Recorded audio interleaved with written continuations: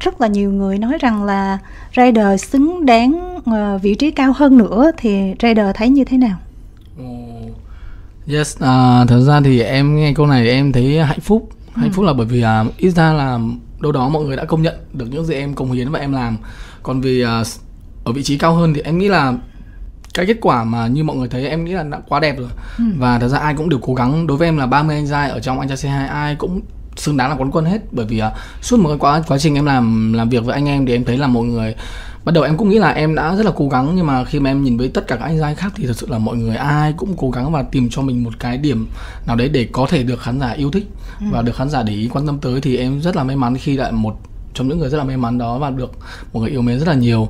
Nên em thấy là cái việc mà vị trí cao hơn thì uh, cái này nó sẽ nó sẽ nó sẽ nó sẽ ở ngoài hơn là trong cuộc thi. Em nghĩ thế là có nghĩa là nếu như mọi người à, yêu thích mình và muốn mình à, đi lên hơn nữa thì mọi người hãy luôn ủng hộ cho rider để mọi người à, mình có thể có nhiều cái sản phẩm cũng như là nhiều cái năng lượng nó như tự tin hơn để có thể ra những cái sản phẩm hay hơn ạ.